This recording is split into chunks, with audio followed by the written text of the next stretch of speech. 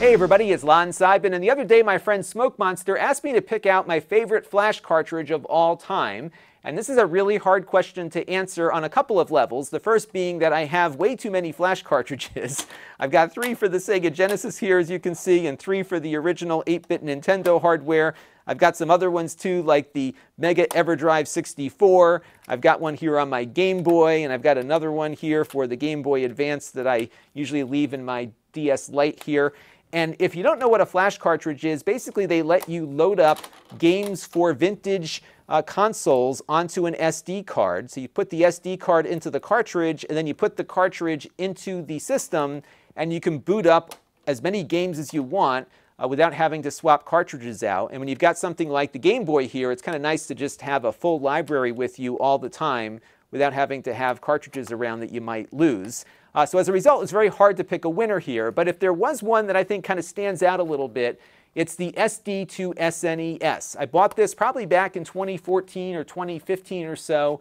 And over the years, it's gotten better and better because it's an open source project. The hardware side and the software side are open source. And we've seen the community uh, start to develop for it as they figured out how it works. And just the other day, uh, they added a new feature to play Super Game Boy games on this thing. So we're going to try that in a second. And additionally, one thing I haven't done a video on is the fact that the SD2 SNES can now do Super FX games like Star Fox, things that the cartridge couldn't do when it came out. And I'm using the same hardware that I bought way back in 2014, 2015. I'm getting new stuff without having to buy something new and that adds a lot of value. So we're going to be taking a look at some of the new things you can do with the SD2 SNES, basically a follow-up to a video I did six years ago. And we're going to dive into that in just a second. But I do want to let you know in the interest of full disclosure that I did buy this SD2 SNES with my own funds way back in the day. And all the opinions you're about to hear are my own, and nobody is reviewing or approving what you're about to see before it was uploaded. So let's get my SNES out here and boot this cartridge up and see how all of this works. I just got to clean up my workspace here a little bit and let's get to it. Now for hardware today, we're going to be using an original Super Nintendo console and I just think it's awesome to demo these flash cartridges using the original hardware. Just adds some real authenticity to the whole presentation here. Uh, but this would work equally well with the Super NT from Analogue which is an awesome clone console for Super Nintendo games. It gives you pristine 1080p output. It looks awesome. But again, I just wanted to use it on original hardware today. Now, the result is that the video quality won't be spectacular, and I'll explain how we're bringing the video in in a second. But again, I just like the authenticity of all of that. Uh, now, on this SD card here, I've loaded up a bunch of games. I also loaded the latest firmware for the cartridge. And then I also went over to Smokemonster's video on the new Super Game Boy functionality where he's got a link to uh, some files that you need to get the Super Game Boy functioning as well. And that's all on the card here. And I'll put a link to that video down in the video description so you can check out Smokemonster's experimentation with that. Uh, we're going to turn on the console now. And what I have uh, going up on screen here is the output from this little device here. Uh, this is called the RetroTink 2X, and this is a line doubler. So it takes video in from the composite cable here and doubles it up to 480p and then pushes it out into my video system. Now I'm using uh, composite video here, so it doesn't look as crisp as it would if I had an RGB cable, which I don't have for this console. Uh, but it should be better than what it would look like if I was using some other scaling device. So it'll work. And I think it adds, again, a little bit more authenticity to it to have less than a pristine image here. Now, some of the games we're going to try out today include some Super FX titles, and I'm going to start with uh, Star Fox, which of course was one of the most well-known uh, Super FX games here. So let's just load that up and see what happens.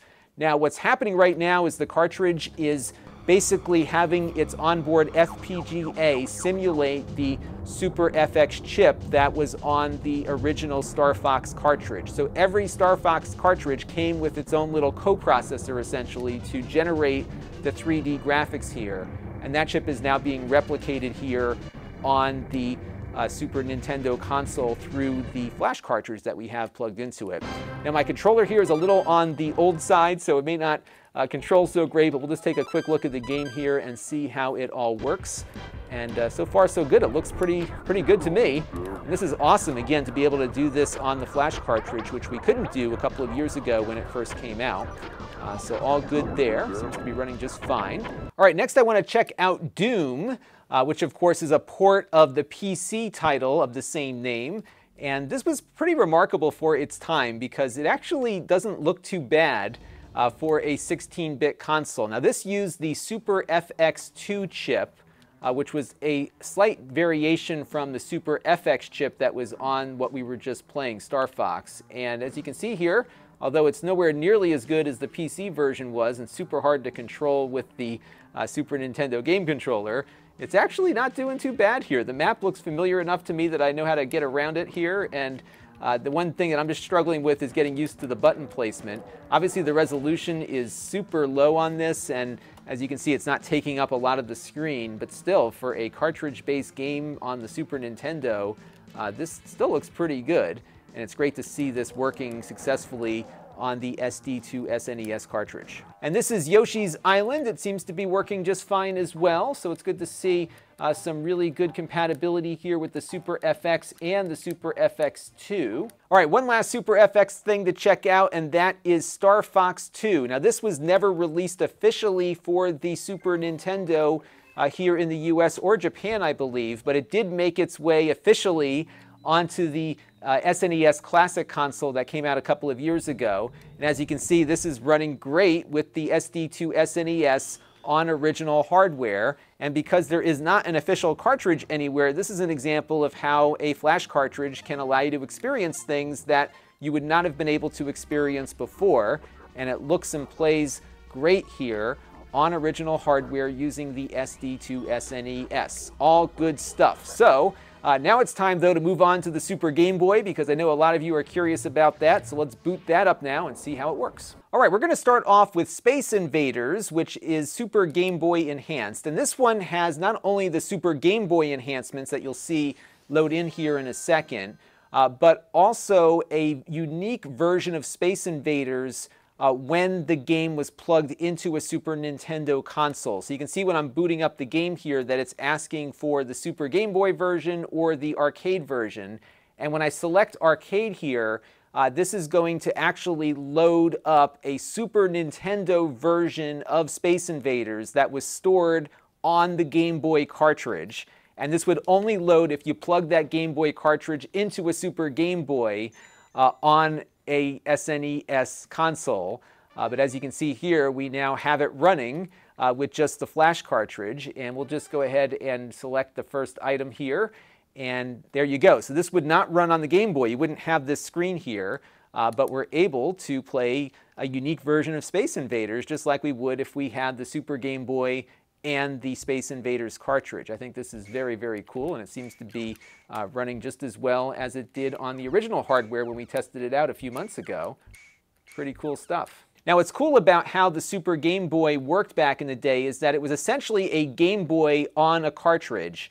And that is what's happening here with the SD2 SNES. Its FPGA uh, is replicating the Z80 processor and it's doing all the Super Game Boy stuff at the same time. So it's really remarkable uh, what the developer of this put together. So you can play the Game Boy version of Space Invaders or again, uh, be able to load up that fancier Super Nintendo version as well. Let's take a look at a few other games. All right, next up is Donkey Kong. And by the way, you're going to see that this is booting up as a Super Game Boy 2. Uh, which was a little better than the original Super Game Boy. It's more accurate in its timings. Uh, the Gaming Historian did a great video on the Super Game Boy hardware that I definitely suggest you check out. Now the enhancements here are similar to what we saw with Space Invaders in that we get a special custom border. Uh, that title screen that you just saw was kind of unique to the uh, Super Game Boy version of the game. Uh, so it's all embedded on the Game Boy cartridge, but things are a little different when connected to the Super Nintendo hardware. Uh, also here, there's some custom audio. So as she's screaming for help at the top of the screen, uh, that is coming through the Super Nintendo's audio hardware. Uh, that voice is not something you would have heard on the Game Boy. And here you can see the game playing, and we've got all these colors that you wouldn't see on the black and white Game Boy cartridge. Pretty cool stuff, and also seems to be working quite nicely here. Uh, this is an early release of the uh, core as I'm playing with it now, so I'm sure over time this will improve. So if you see any glitches or anything, that's probably going to get worked out as time goes on here. And you can uh, see the game continues there. We've got the custom audio, and we're going to keep playing through. Now here's another one that's worth talking about. This is Animaniacs, and of course we get the custom border here, but they also replace the music uh, with a Super Nintendo audio hardware soundtrack. And this was by Factor 5, who we all know from uh, the Star Wars game on the GameCube, among many others. They've done some amazing stuff over the years, and this is another one of those games. And once the music comes up here, I will turn the music volume up for a second so you can hear what it sounds like.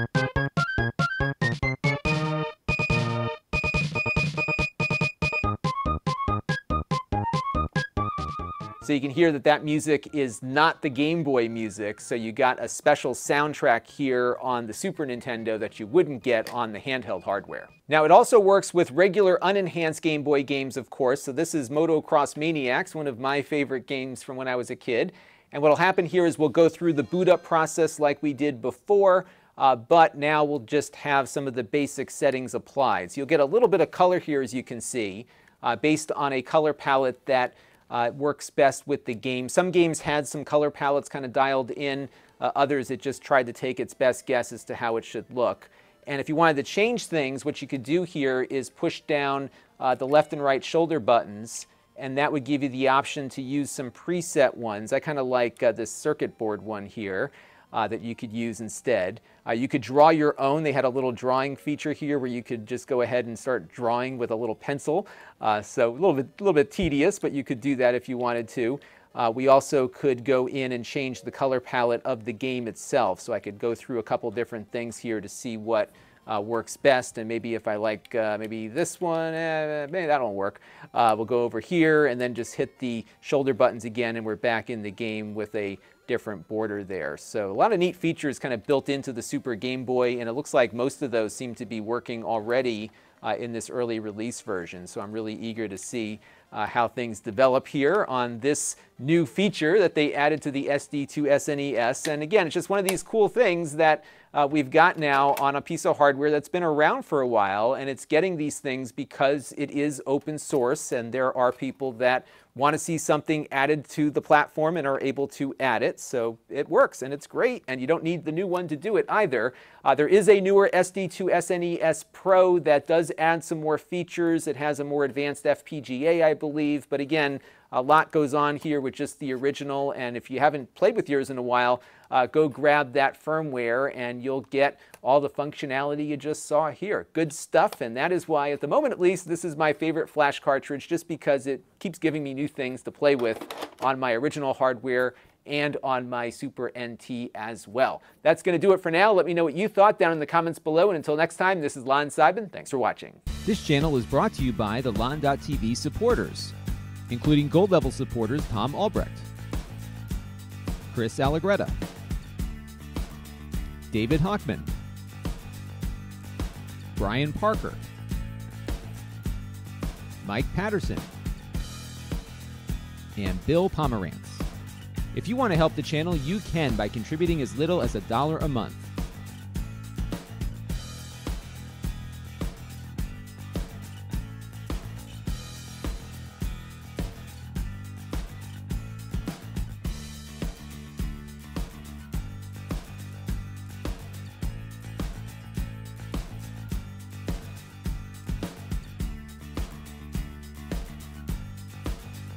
Head over to lon.tv slash support to learn more.